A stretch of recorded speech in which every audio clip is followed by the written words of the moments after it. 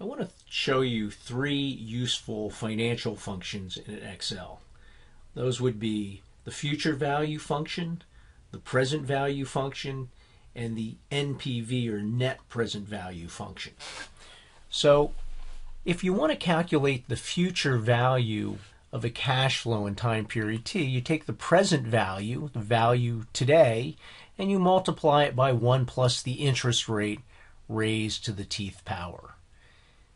Alternatively, there's a function in Excel that will do this for us. So let's see if we can do this, and we'll do this um, both ways to show you that it's easier to use this function. So I'm going to start with a present value of 100, an interest rate of 10%, and I have different values for t. So I'm going to calculate the future value in year 1, in year 2, year 3, and year 4.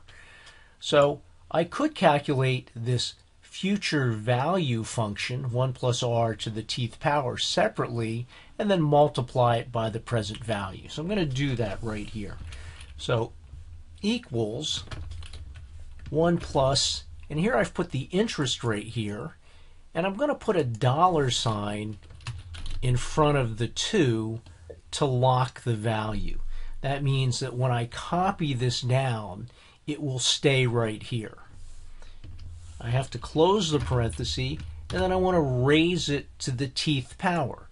I'm not going to lock this value because when I copy it down, I want this to go to, you know, 1 plus uh, the interest rate to the second power, 1 plus the interest rate to the third power, etc.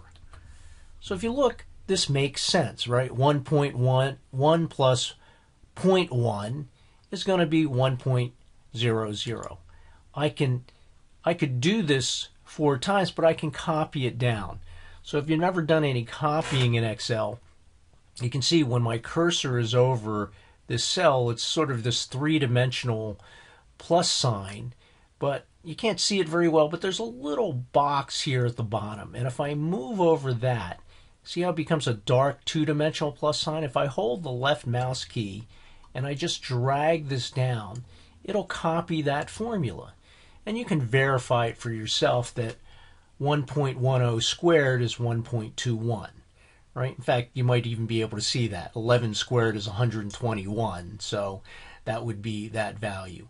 And this would be 1.1 to the third power etc now I can just multiply each one of these times 100 to get the future value.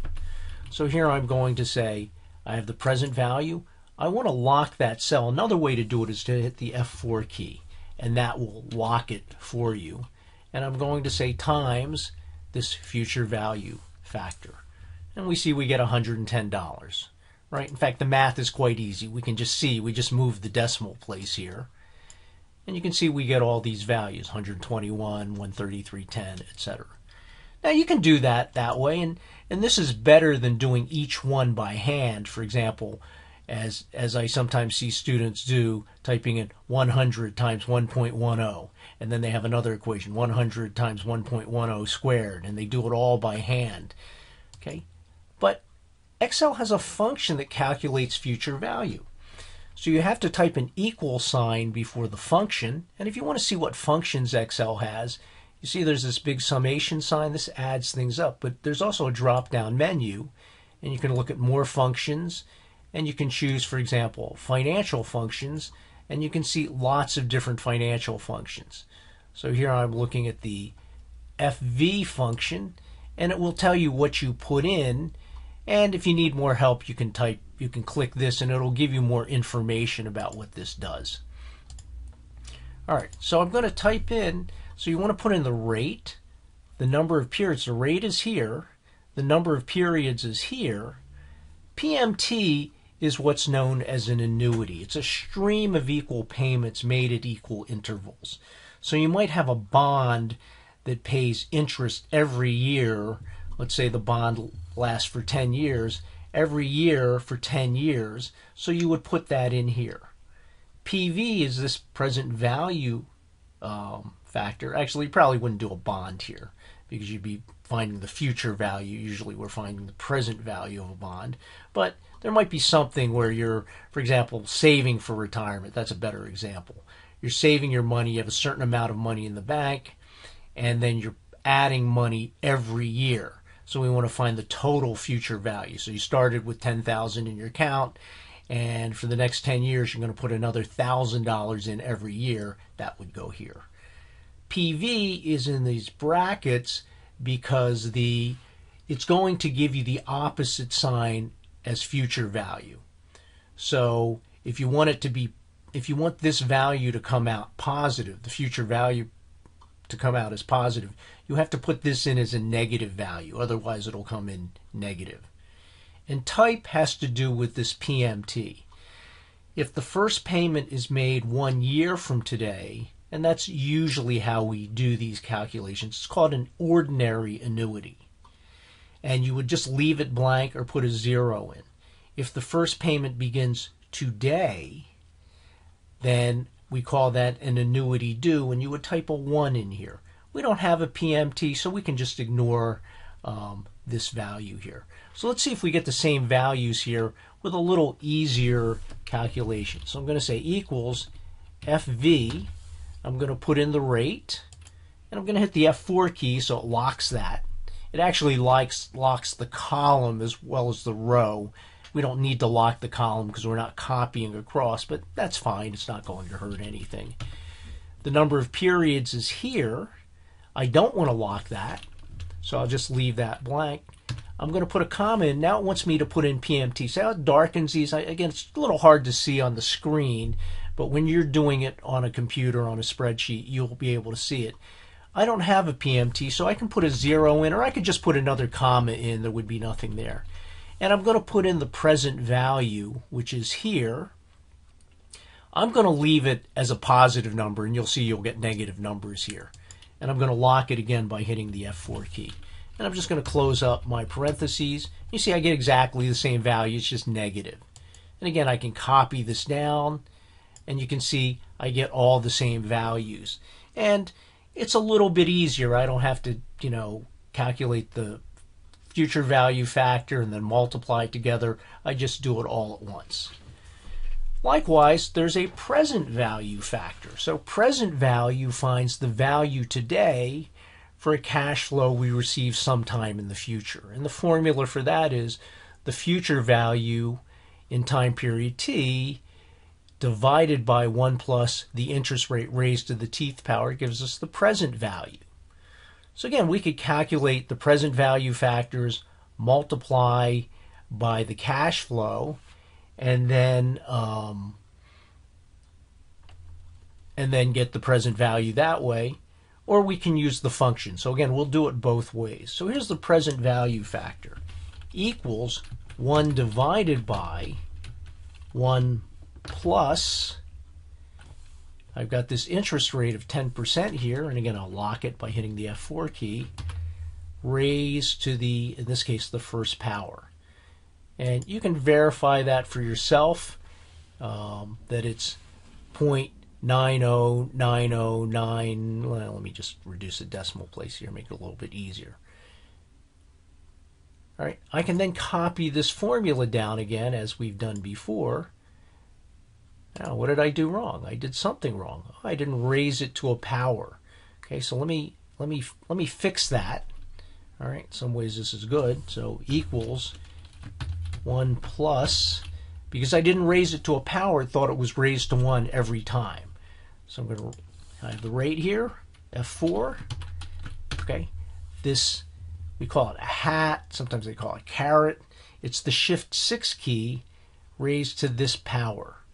I should still get 0.90909 uh, for this one. Whoops, I forgot to divide by 1. So another mistake there. So let me just fix that. 1 divided by that. Okay, there we go. And then let me just copy this down. And hopefully we get different values. There we go. Right, and the farther into the future you're you're going, the smaller this number is going to be, right? This factor is going to make the future value uh, or the present value smaller the longer you have to wait for your money. And again, let's find the present value of this. We're going to take the cash flow and then multiply it by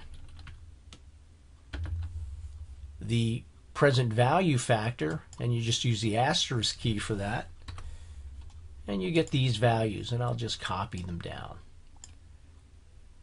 Right. So remember, you're you're um, multiplying by this. So four hundred dollars, you know, four years into the future is quite a bit less than it is today.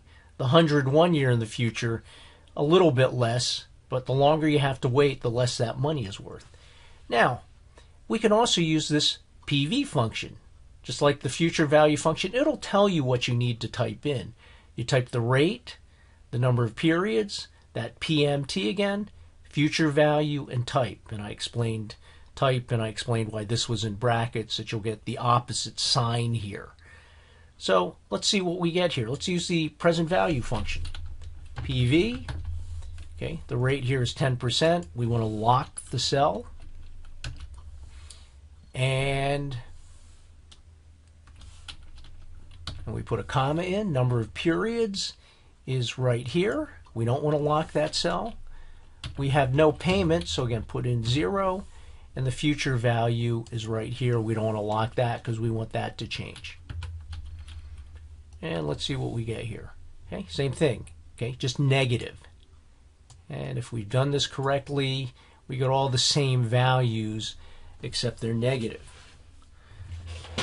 So now, let me show you the third function. This is what's referred to as the net present value function. And actually, the net present value function doesn't actually calculate net present value. Net present value is used in capital budgeting. So we find the present value of the cash flows from a project and we subtract out the cost unfortunately, whenever whoever coded this for the first time didn't understand what NPV was, and they did not do it correctly. So what it does is it calculates the present value of the cash flows. It actually calculates this. It doesn't subtract out the cost. So we can use this to calculate the present value of a bunch of cash flows. So suppose we wanted to calculate the present value of all these cash flows, and we actually did them over here and we wanted to add them up. That's something we commonly do in finance because we have a project that has cash flows in over several years. We find the present value of each of those cash flows and we add them up to see what they're worth today. And that's what we would, for example, pay for um, a bond or something that we were where we were receiving this amount of money over several years. So again, I can calculate that PV factor, and I'll do that just like I did before. So this is going to be, hopefully I'll do this correctly this time, 1 plus the interest rate, okay, lock that, raised to the year's power. All right, so that looks kind of familiar. Okay, so this is exactly the same example that I did before. And then I can find the present value of all of these. So I can say equals um, this times this. Right, and I can just bring all of those down. And if I wanted to know the present value of all of these, I could just sum these up. Right, and see up here, there's this summation sign. Before I showed you, there's a drop-down menu, but you can also just if you just hit this thing, it'll just do summation. And it happens to be highlighting the correct cell, so I'm just going to hit enter, 750, 480. Well, we could actually use this NPV function to do this in one fell swoop. We just put in equals NPV, open parenthesis, the rate, and then the values. So let's see if we get the same value. NPV, interest rate, and then I'm just going to highlight these values, close the parenthesis, and I get exactly the same thing here as here. So you can see that yeah, it saves you a step, right? You don't have to calculate each one separately and then add it up. It does that for you. So this is also a very useful function. So, you know, much easier than doing it step by step.